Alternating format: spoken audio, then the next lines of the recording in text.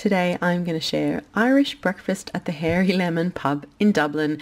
It's a famous Irish pub right in the heart of the city and they serve breakfast, lunch, dinner and it's really convenient location. It's just near Grafton Street where there's lots of shopping and just beyond over there is St Stephen's Green as well. So it's a great spot to head when you're shopping in Dublin. The inside of the pub is lovely and cozy, so much memorabilia on the walls and it just makes a lovely spot to come to while you're in Dublin. So the pub is called The Hairy Lemon. It's actually named after a famous Dublin local and it's got the story all about it on the pub menu.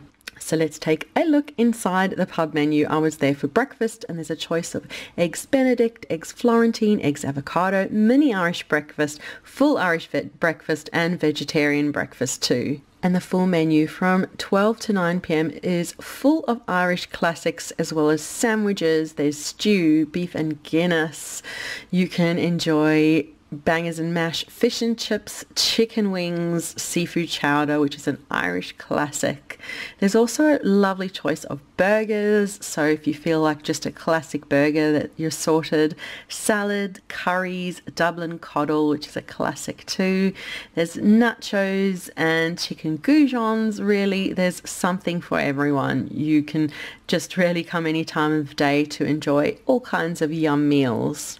There's an extensive drinks menu with wine and beer. You can choose really whatever you feel like drinking and there's some takeout options too. I just quite enjoyed having a look around the pub while I was waiting for my meal. I didn't wait too long, but while I was waiting, just enjoying looking at all the memorabilia and just everything inside of the pub. It's just a lovely spot to spend some quiet time away from the city and I had hot chocolate as my drink in the morning. I'm more of a hot chocolate drinker, so it was just the perfect creamy hot chocolate.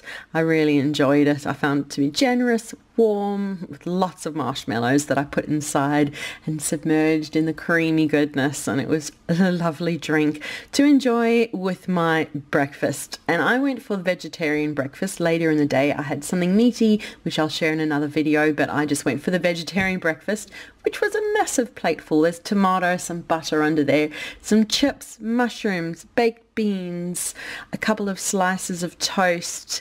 There's some eggs over there underneath and some hash browns. Just really a mammoth plate full.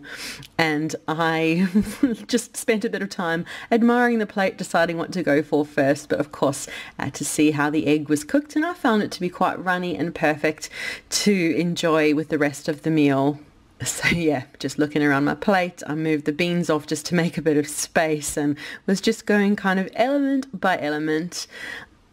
Buttered a bit of the toast and dipped it into the fried egg and just really looked at every single element and the hash brown was lovely and crisp and I enjoyed dipping that also into my runny egg. I could not finish this plate. I kind of left most of the tomato. I'm just not really a tomato fan. And the chips and toast, it was just a bit too much for me, but it was a lovely filling breakfast at the Hairy Lemon. Thank you so much for watching this video. Be sure to leave a like, subscribe for more videos, comment too. Let me know other pubs in Dublin that you'd like me to show you around. I spent the rest of this day wandering around and I had a lovely big lunch, which I will share in another video at another pub in Dublin. So make sure that you subscribed to get that video. So thank you so much for watching and we'll see you again soon. Bye.